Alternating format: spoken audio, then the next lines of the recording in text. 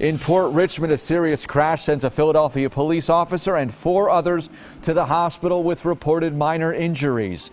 The officer's cruiser collided with another car at Aramingo and Butler around 8:30 tonight. You can see both vehicles have sustained some heavy damage there.